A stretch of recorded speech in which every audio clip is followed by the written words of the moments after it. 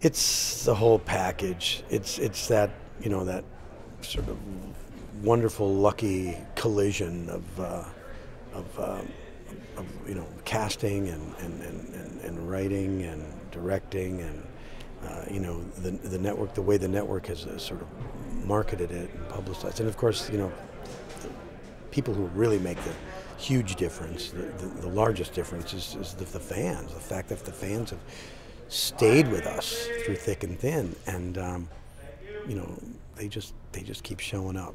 Without without those people, we're you know we'd have been gone long ago.